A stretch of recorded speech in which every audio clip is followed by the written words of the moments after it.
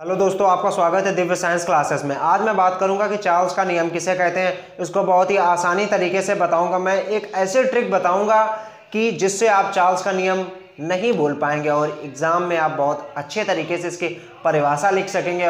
और एक एक क्वेश्चन मैं इसमें बात करूँगा चार्ल्स के नियम के बारे में। तो वीडियो को लास्ट तक ज़रूर देखना। अगर अच्छा लगे तो लाइक कर देना। तो देखते हैं कि चार्ल्स का नियम किसे कहते हैं। तो हम लोग बात कर रहे थे कि चार्ल्स का नियम किसे कहते हैं। इसको मैंने बहुत ही आसानी तरीके से बताया है। इस वीडियो को लास्ट तक ज़रूर देखना और बहुत ही आसानी तरीके से आपको भी समझ में आएगा। अगर आपके पेपर में आएगा तो बहुत ही आसानी तरीके से आप इसकी परिभाषा कर सकते हैं। तो देखते हैं कि चार्ल्स के नियम के बारे में क्या बताया गया है बोर्ड पर तो चार्ल्स के नियम पे बताया गया है कि यह एक गैस गैसी नियम है। इसका मतलब कि ये एक गैसी नियम इसका मतलब कि गैस एक कोई लिक्विड के फॉर्म में होगी।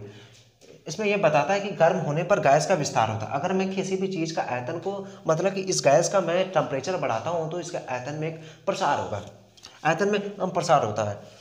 प्रसार क्यों होता है? इसमें यह बताया गया है और ये नियम कहते हैं मतलब कि इसमें एक सबसे इंपॉर्टेंट टॉपिक बात है यहाँ से नियम आपका शुरू होता है स्थिर दाब पर। अगर आपका जो प्रेशर है, वो यहाँ पे कांस्टेंट रहेगा।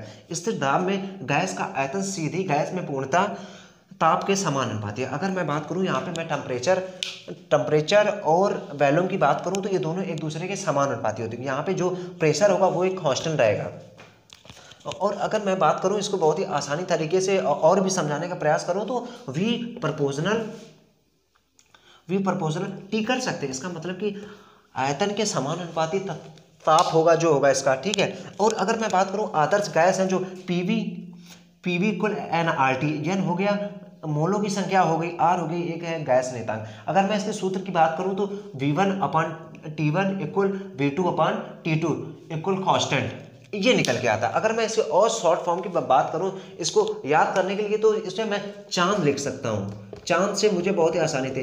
चाहते मुझे पता चला कि चार्ल्स का दाग है मतलब कि दाब। इस पूरे प्रक्रिया में, इस पूरे सिस्टम भरे में जो दाब होगा, वो स्थिर रहेगा। बाकी इस पूरे सिस्टम भरे में जो खेल है, वो आयतन का होगा और ताप का होगा। ताप दोनों के समान अनुपाती जितना आप टेम्परेचर बढ़ाएँगे, उतना ही उसका आयतन बढ़ेगा। अगर आयतन बढ़ेगा तो उसका टेम्परेचर बढ़ेगा। इस चीज़ में दो चीज़ों के बारे में बताया गया है। और आई होप अगर तुम्हें उसके चार्ल्स और बायल के दोनों नियम के बारे में जानकारी चाहिए तो वीडियो में बताइए कमेंट करके कि तुम मुझे बायल के नियम के बारे में भी जानकारी चाहिए तो मैं उस पर एक वीडियो बना दूँगा। अगर अच्छा लगा हो वीडियो तो लाइक कर दीजिए, दोस्तों के साथ शेयर करिए।